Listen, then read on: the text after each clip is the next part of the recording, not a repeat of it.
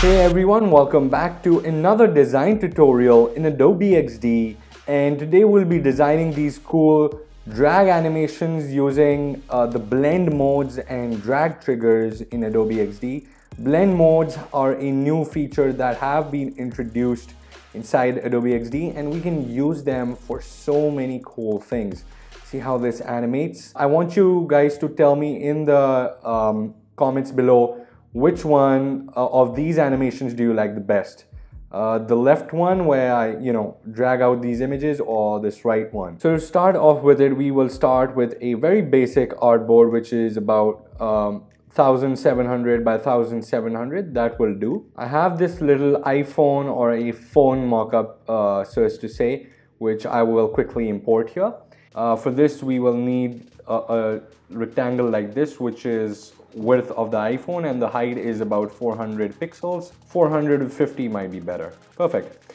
And I will remove the borders of this. And what I'm going to do is I'm going to import these awesome images that I've downloaded. Now what I'll do is just drag in the images that I've downloaded into these uh, so-called masks. So I've essentially gone ahead and done this for four different images and as you can see these all these bugs in my images have a contrasting color from what they have in the background. So they really pop. So this is yellow and blue, which are slightly contrasting. This is yellow and there's then there's a black in the background, which is fine again. And then there's this bright pink and this dull purple in the background. Now to make this work, what we'll do is just create overlays for each of these. Make sure the top one has 50 by 50 on the top left and the top right, just like that. And uh, now what I'm going to do is remove the border and give it the same color as the background color. So uh, pick a color which is behind the bug. In this case, this is green, so I'll put it green.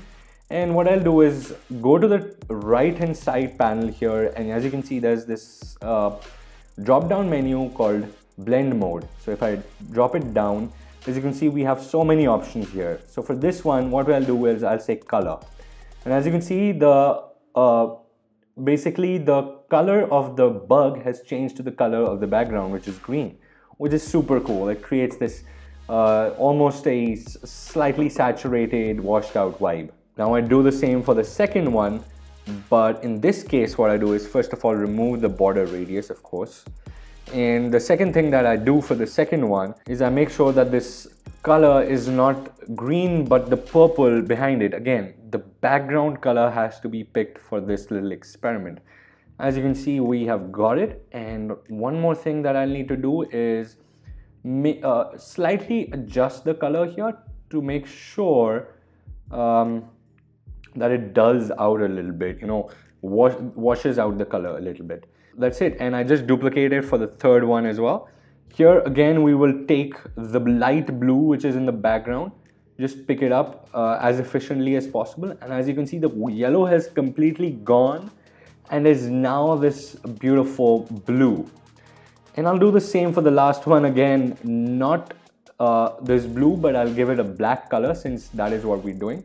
And as you can see all the color there's only one tone and it's basically now monochromatic in nature so the next step would be to expand these and to make it make them look much better. We, we will expand the rectangle which is overlaying the first one and the image uh, and the image behind it as well, which I believe is this last image. And I'll make this much, much bigger, just like that. And what I'll do is I'll shift all of these elements towards the bottom of this new expanded image. Now, the other thing that we'll do is we'll reduce the opacity of this uh, overlay to zero. And as you can see now we have that pink effect of that dragonfly in the background. How beautiful is that? Now all we need to do is create a trigger. And to do that what I'm going to do is quickly create this scroll bar on the right. And I'll make it slightly thick. I'll tell you why in a minute. And I will copy this to the second artboard as well. Just say control C and control V on your keyboard and um, the second one, what I'll do is I'll drag it slightly towards the bottom, not too much, slightly.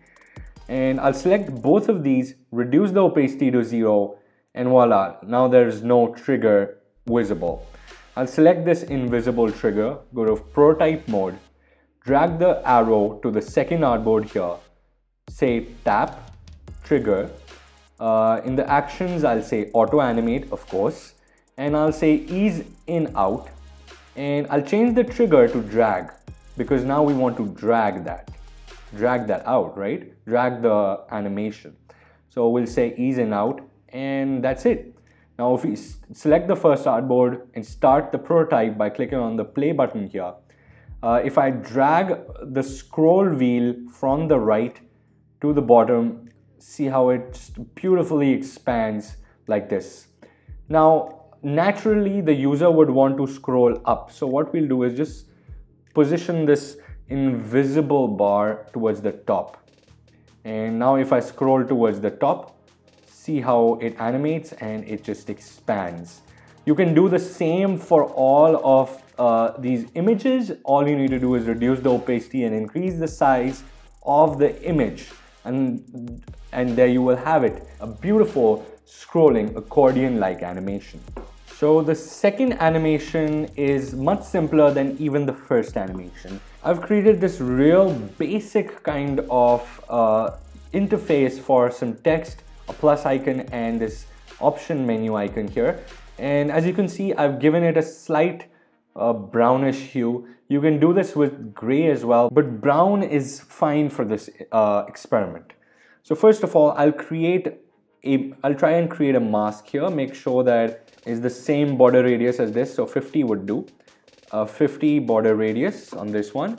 And what I want to do is just duplicate this. So now we have two of these right? For the one on the left, I'll remove the border and I'll give it this a very similar color um, as compared to this. So what I'll do is I'll give this this sepia color which I've chosen, which is again a washed out kind of uh, pastel color. And uh, first of all, I'll remove this and uh, I'll make sure I'll align this like this and I'll create essentially create one more one for the sepia mode one for the dark mode so this one I will make, of course, black. That is, of course. Now we have two of these rectangles. Perfect. The first rectangle here will change the blend mode from normal to this beautiful this beautiful multiply multiply and see how it basically overlays and just overlays all this text here and it just multiplies the already existing color creating this very beautiful sepia effect. So for the second rectangle, what I'll do is change it to something called difference. As you can see, this is now a dark uh, version of this. And if I, if I smoothly take it over this, as you can see, uh, the parts which are, uh, which are under this rectangle are now this slightly green but very uh, legible text and very legible components for this beautiful dark mode.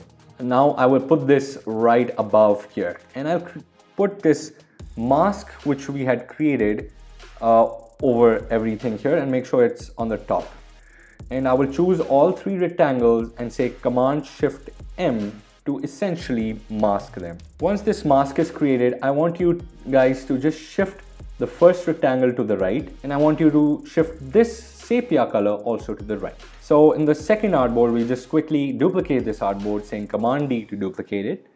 And uh, what I will do here is go to the mask group that we had created earlier. And first of all, I would like to bring this sepia kind of style in first of all. And we'll just duplicate this artboard once again.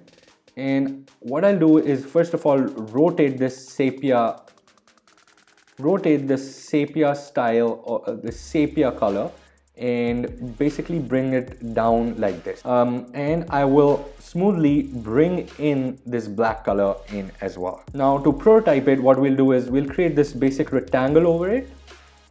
And what I'm going to do is I'm going to uh, copy it and paste it in the second artboard and shift it towards the left just a little bit right? And I'll copy this to the third artboard and shift it towards the left a little more. And I will reduce the opacity to zero for all three of these rectangles.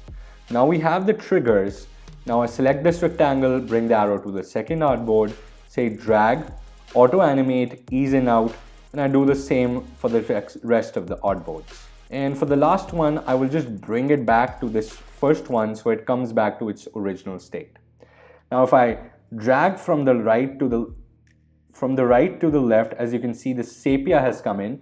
And if I drag from the right to the left again, as you can see this, it kind of slides out and the dark version comes in. How awesome is that? So guys, that was today's video. I post every Monday and Thursday. So go ahead and subscribe to the channel. Click on that bell icon so that you get all my notifications whenever I post a new video. And I'll see you in the next one. God bless.